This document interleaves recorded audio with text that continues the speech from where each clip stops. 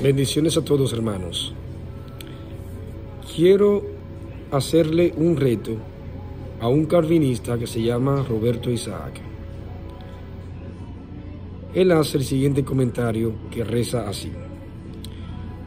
Luego te encuentras con cada cosa, y hasta del lado evangélico. Ayer miraba un debate donde Carlos Blanco afirmaba que los LXX, es decir, la traducción de la Septuaginta, no existió en el primer siglo, sino que es una recensión posterior del siglo I. Ahora yo quiero hacerle el reto a Roberto Isaac. Roberto Isaac,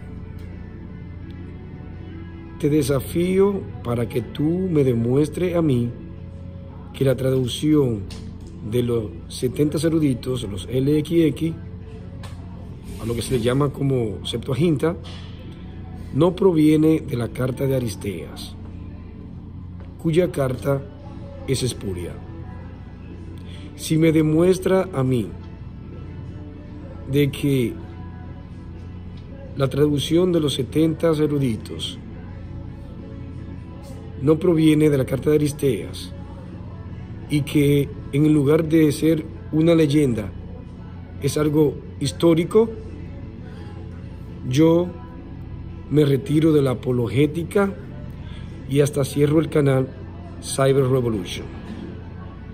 Si lo demuestra en un debate en vivo de preguntas, respuestas y refutaciones, pues entonces yo haría lo que estoy dispuesto a hacer para que tú demuestres de que la carta de Aristeas es genuina y de que la traducción de los 70 o 72 eruditos se tradujo todo el Tanakh hebreo.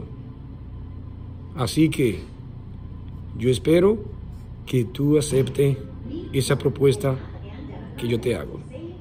Gracias a los hermanos que vieron este corto y esperemos que Roberto Isaac acepte ese reto.